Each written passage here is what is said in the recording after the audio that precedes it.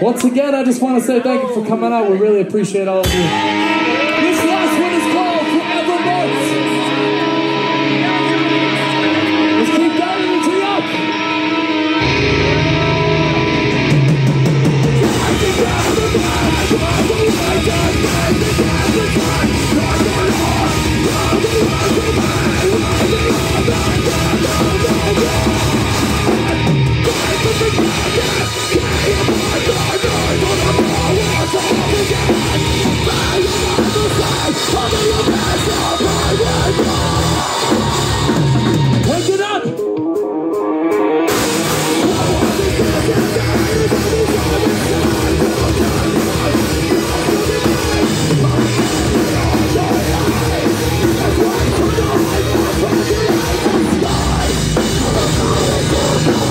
Lord.